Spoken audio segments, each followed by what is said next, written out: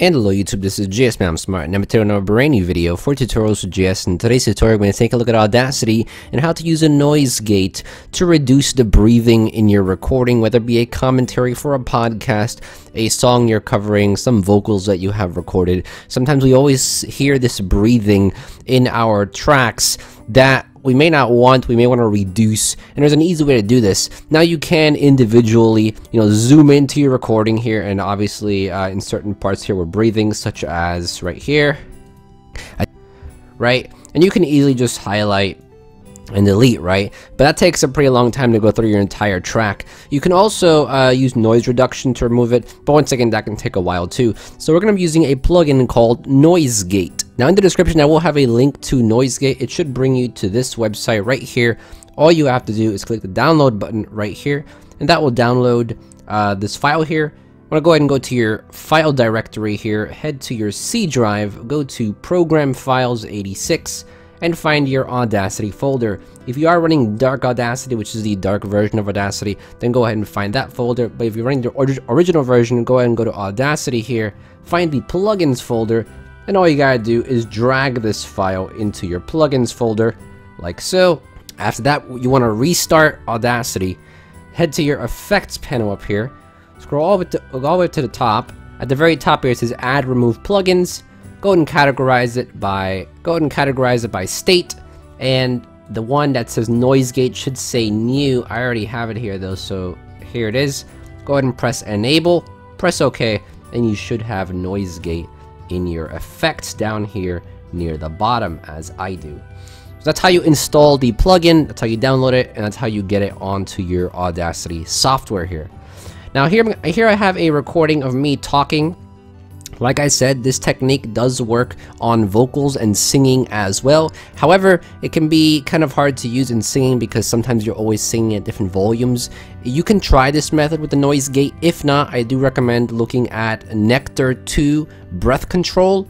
That is a software you have to pay for. It's a really good software. It gives you a lot of nice tools. It's compatible with Audacity and has really nice effects that are really professional and they work really well. Nectar 2 Breath Control. You can use that tool for this same technique as well and it does it a lot better. However, if you want to if you want to use the free version, we're going to use a noise gate. So I'm going to take a listen to this real quick and then we'll show you what you got to do. And hello YouTube, this is a test recording. I didn't really know what to say, but we do have the brand new tutorial here, and I hope you'll enjoy it. Thank you for watching as always, and this will be the tutorial. So as you can see, uh, we can hear ourselves perfectly fine. We do have us uh, taking breaths before and after we talk. And if you're singing or you're on a podcast or a commentary, that can be annoying to the listeners sometimes if it's very loud and maybe you just don't want to have that. So what you're going to do is highlight everything and change your view. Click the little down arrow right here, the down box, and change it to waveform DB. So basically turn, turn it into this view right here, and here you can very easily tell where the breathing is. Here's some breathing, here's some breathing. And as you can see, they're pretty big chunks of audio. Here's some breathing. It's very easy to tell. So what your goal here to do is to zoom in and try to figure out at what level is your breathing coming in. So as you can see here, here on the right side we have the dB values here. You can make this bigger if you'd like. You can uh, bring this down here just by grabbing the end of the track here and bringing it down. That way you can see more values here. And a good thing to do is just to grab the bar at the bottom here and move it to the start of your breathing so you have a pretty good idea of where it starts here. As you can see here, everything under negative 30 is kind of where the breathing uh, starts. And we're going to need that information for our noise gate. So go ahead and highlight everything, just double click the little area here or control A, head up to effects and find the noise gate effect which is right here. And then noise gate effect, you want to make sure you have these three settings up here, keep those the same, they should be default. Keep the gate frequency set to zero. And the last three values is what you're going to change. Now, this value right here tells you how much of the noise you want to reduce. The more to the left you push this, uh, the more you're going to reduce the breathing.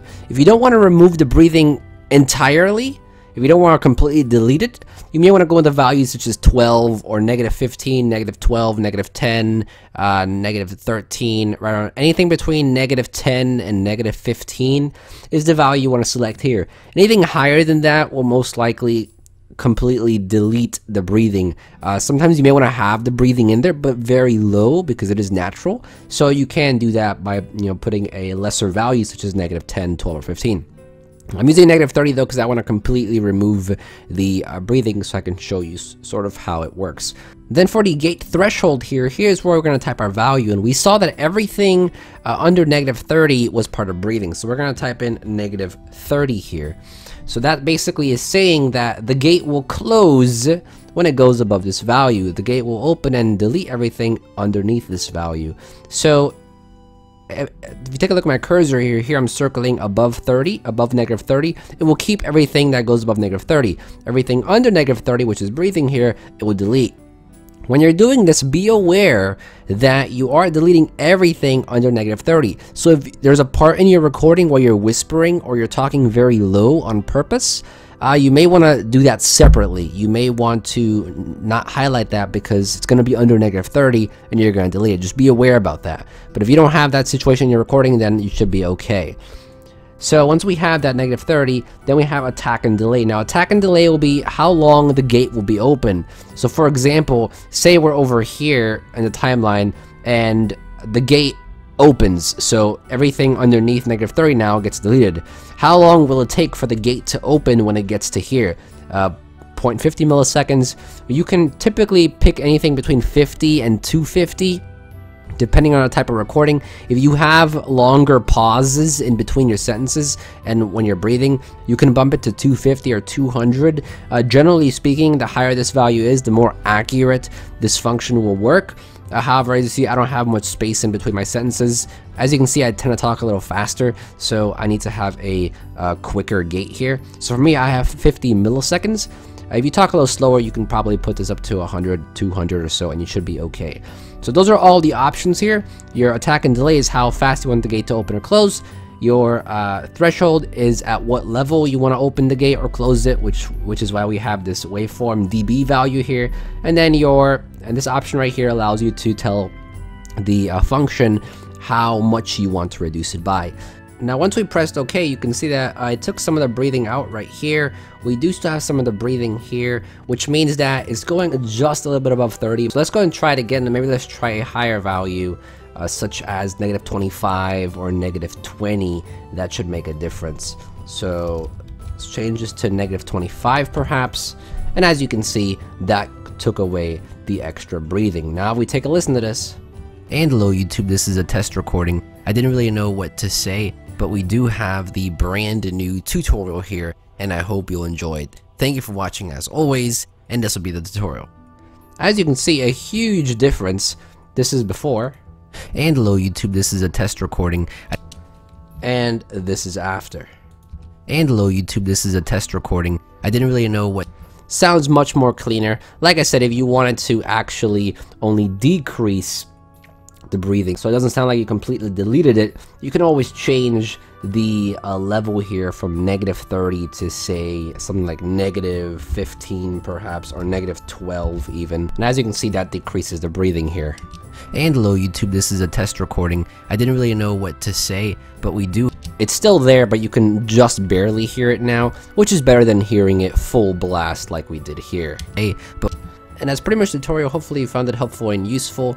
If you liked the video, go and give it a like. Any questions or comments, leave a comment in the comment box down below. I'll be down there answering any questions you have. You can also subscribe to the channel if you haven't subscribed yet. Lots of other software tutorials on the channel. Lots of Audacity tutorials, video editing tutorials, audio editing tutorials, image editing tutorials, Photoshop, Premiere Pro, After Effects, Windows Movie Maker, all kinds of cool software tutorials on the channel. If you're interested in that, go and subscribe. I also have a Patreon page. You want to donate a dollar, you can do so. Anything as low as that is very helpful, very much appreciated. Click the card in the top right hand corner screen, and it'll bring you to the page. And I also have a vlogging channel, music channel, advice channel, and a gaming channel. Want to check those out? Links in the description as well as on the end card. And that's pretty much it. Thank you for watching as always, and this is GSmaniamsmart, and I'll be back sooner than you think. Don't go anywhere.